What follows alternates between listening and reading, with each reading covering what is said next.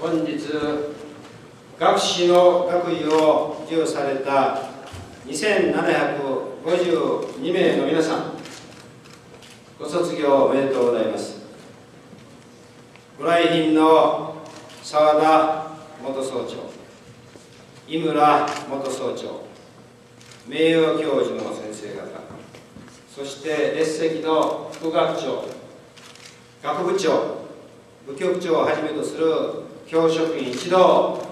皆さんのご卒業を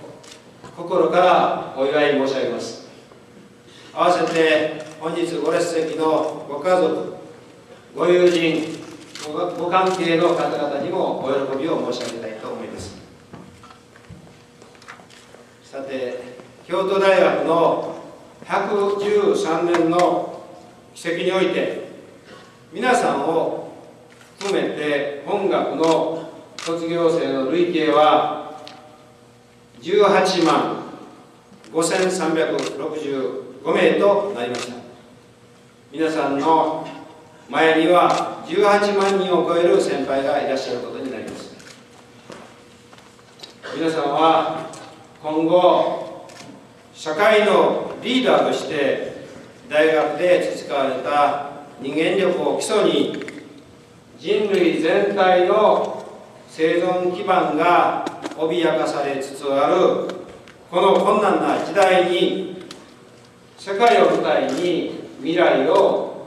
切り開いていくという使命を果たさなければなりません。その使命を果たすためにはこれまで習得した知識だけでは十分でないことは皆さんが重々ご承知のことと思います。知識はネットワーク化され一つの体系をなさないと臨機応変に使うことはできません。またネットワークをなすのは個別の知識にとどまらずその周辺にある人間関係も自然にその構成要素となります。人間関係のネットワークは融通無下です。同世代のネットワークに加えて先輩や後輩あるいは教師とのネットワークさらには書物などを通じて時間軸や国境を越えたネットワーク例えば歴史上歴史上に名の残る巨星たちそれも皆さんのネットワークの一員になっているかもしれません。大学生活を通じて築かれました時空を超えた知識のネットワークこそ皆さんの長期宝物であります今後はますます皆さんのネットワークそのものを広げて世界が直面する多元的な課題に挑戦をしていただきたいと思います。かつて本学の教授を務められた和辻哲郎哲学者でいらっしゃいますが和辻哲郎先生は成長する者はまず根を確かに下ろさなければならない。上に伸びることのみを欲することをしてはいけない。まず下に食い込むことが重要であるとおっしゃっておられます。ネットワークはこの根に相当するものだと思います。根を伸ばし大きく根を張りさまざまな良きものを自らの栄養として貪欲に吸い上げて常に己の持つ実力の120%を目標にしてそれを持ち続け自らを大きな木体重にしていただきたいと思います。さて皆さんはこれから社会において多くの試練に直面されることと思います。その時そして苦難の時にこそ君たちの母校京都大学を思い出していただきたいと思います。大学というものは自学自習を鼓舞し広い知識深い教養を身につけるにふさわしい遠欲な土壌豊かな大地であります。学生にとって大学というものはそれぞれが社会の中で自立できるよう自らを鍛え一に一に強い気迫と意志二に人の気持ちが分かる情けの豊かさ三に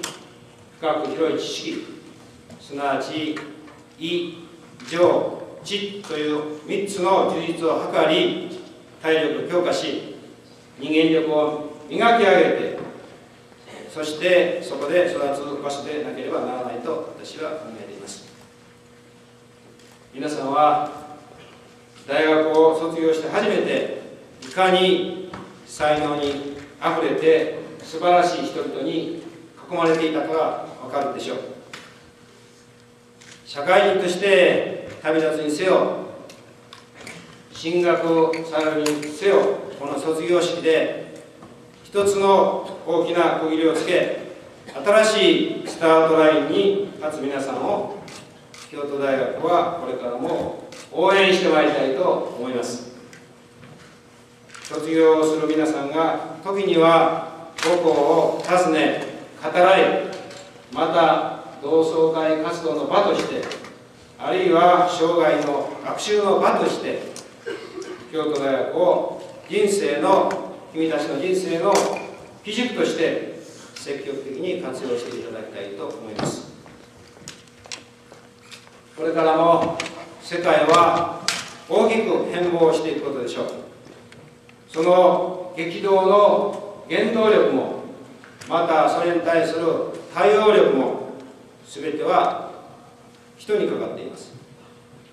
このことを受け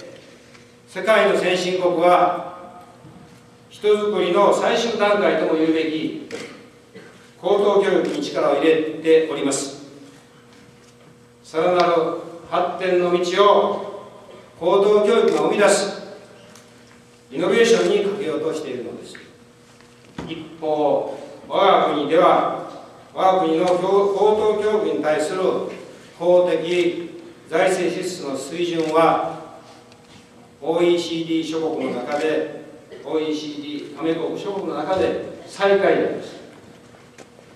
また最近5年間の高等教育費の伸び伸び率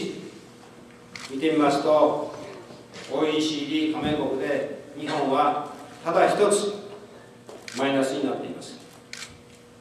その結果不況にあえぐ家計が高等教育を支え続けなければならない現実にあります。私は京都大学が優秀な人材を生かせるそしてイノベーションを担う人材を出し続けるということができるように企画内外で必要な改革を進めてまいりたいと考えております。最後に今後も絶えず皆さんが自らを顧みて自らを顧みて体を鍛え心を磨き体と心のバランスというものを大切にしていただきご活躍されることを願い学士の学位を授与された皆さんへのお祝いの言葉としたいと思います。ご卒業おめでとうございます。平成22年3月24日、大学総長、松本博どうもおめでございます。